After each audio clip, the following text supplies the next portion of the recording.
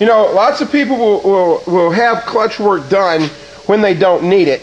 Uh, one of the one of the key reasons why is under this is your, your master cylinder. This is the master cylinder for the clutch.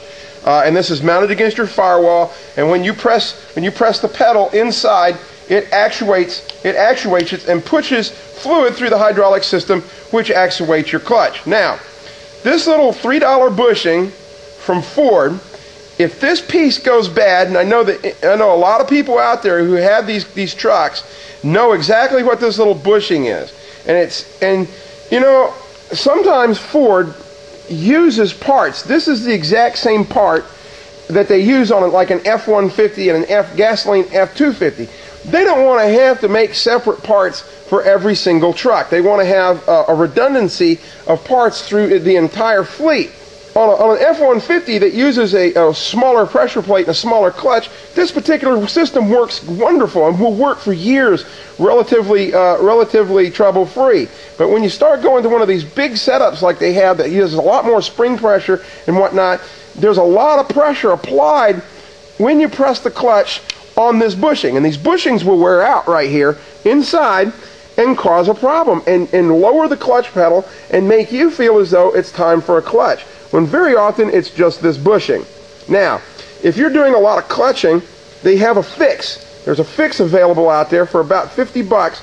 You can buy this, buy this, basically it's a Heim joint, and what you do is you cut this shaft right here, and you, you put this part on there, and then on the, on the arm that comes across that has a little knob on it here, you, uh, you end up bolting it on. When you do this particular modification to your to your clutching system, you will never ever ever ever have this particular Mickey Mouse problem happen to you again. It's a wonderful fix. I uh, hope to have these available soon on my website. Uh, if I don't already, uh, and, and if not, uh, we will have a, a, source from where you can obtain these. Uh, they're available on eBay on a, on a fairly regular basis. But fact of the matter is, is that's a wonderful fix for a very, very big problem, especially on the uh, first generation Power Stroke. Okay, we're going to illustrate here a common problem that stick shift Ford uh, trucks have. Uh, it's it's a it's just one of these things. It's just a can be an intense aggravation if you have to cope with it. This is a this is the clutch master cylinder. Of course, you have a hydraulic clutching system in Ford trucks, and this is the clip, the clip. Anybody who's ever seen one of these knows what this is.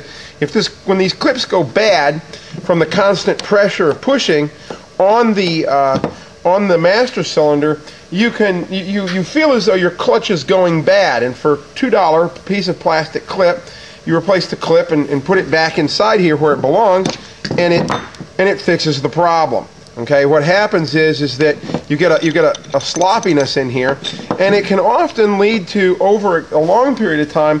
It can lead to a deformation of the of the rod and a deformation of the clip of the uh, of the uh, pivot here itself. What we have here is a modification that we're going to perform right now and illustrate to you how to go about fixing this problem and never ever look at me when I say this, never ever have to buy one of these damn little clips again.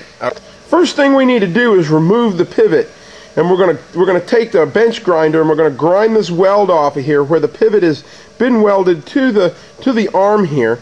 And we're gonna remove the pivot so that we have a place to put the the, the bolt through for the Heim joint.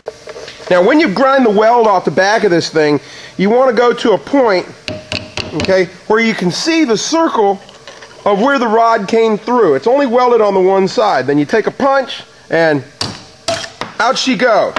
Now, we're ready to reinstall reinstall this piece and using uh, the Heim joint bolt. The bolt that is supplied with this is an extremely tight fit and you don't want to loosen it up. You don't want to drill it any bigger. So if you got to take the Allen an Allen wrench and actually thread the thing through, you do not want these pieces to be any looser than they absolutely have to be. At this point, we're going to have to go up underneath the dashboard. You can do one of two things. Either you can remove the clutch master, and it's an excellent time to do this project when you're replacing the clutch master. Okay? Now, I'm going to go up under here with a cutoff tool, okay, like this here, and clip off the tip right here of the damaged end here. Okay, now that the the end is shaved off here, we want to have this, we want to have the, the part semi-assembled here. Now, this part, this end of the rod goes all the way up here. Okay, goes underneath the dash right there. You see how there's a, a, a, spline. The arm itself will go over and be pulled onto those splines. Now you can see right here that we're about to we're about to go on the splines. As we tighten this bolt up, it's going to go onto the splines, and once it's there, it's not going to be adjustable. So it's important to have all the pieces all the way slid on, have the clutch pedal all the way up, because otherwise, if you if if you put this on there and it's not adjusted correctly, then your clutch pedal is going to be unnaturally low. So you want to make sure that the heim joint is all the way onto the shaft as far as it can and that you've got the splines ready to go. And then we tighten this nut down and then we'll tighten down the, uh, the set screw there and we'll tighten down the, uh, the nut that holds the uh, heim joint onto the arm. This is a repair and fix that will work, outlive, definitely outlive the clutch and probably outlive the truck. This is one of those things that once it's done is done, and that peculiar little idiosyncrasy about the clutching in this truck will never ever again be an issue.